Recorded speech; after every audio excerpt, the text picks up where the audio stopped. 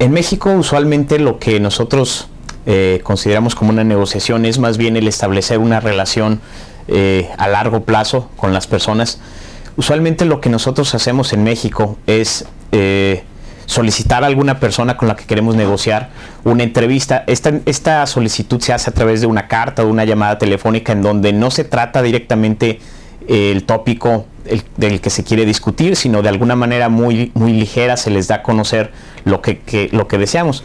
Una vez que ellos están en la, en la oficina, eh, se empieza a establecer una relación de, confianza, de amistad. Si es una persona con la que hemos tenido una relación desde hace algún tiempo, lo que se empieza es preguntando cómo ha estado su trabajo, cómo está su familia, eh, se empieza a establecer un, un eh, una remembranza de la relación que se tuvo entre ambas personas o el grupo de personas. Esto es para crear un ambiente de amistad.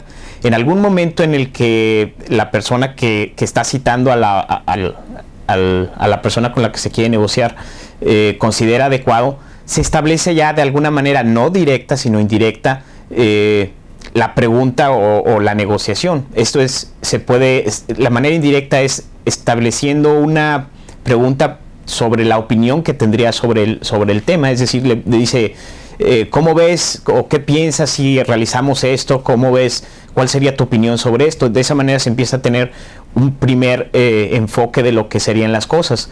Y después se va profundizando en la negociación hasta llegar ya a, a una respuesta concreta. Esto es porque en México no estamos acostumbrados a marcar las cosas, eh, hacer tajantes en, el momento de establecer las cosas o, de dar respuestas. Eh, un ejemplo que, que viví sobre las diferencias culturales es que yo considero, y mucha gente con la que he comentado consideran igual que en México no estamos acostumbrados, como, como es aquí en los Estados Unidos, a decir no o a decir sí desde un inicio, sino lo que tratamos de hacer es eh, establecer una relación más, más, nosotros llamamos cordial, y esto es básicamente eh, el ejemplo este que, yo vi es eh, en, una, en una conferencia donde varios expositores dieron un tema, sobre cinco minutos hablaron sobre un tema, al final de las exposiciones se tenían que hacer las preguntas. Al término de la primera exposición, uno de los eh, asistentes pidió hacer una pregunta, el, el moderador le dijo, no, no puedes porque las reglas fueron establecidas desde el principio.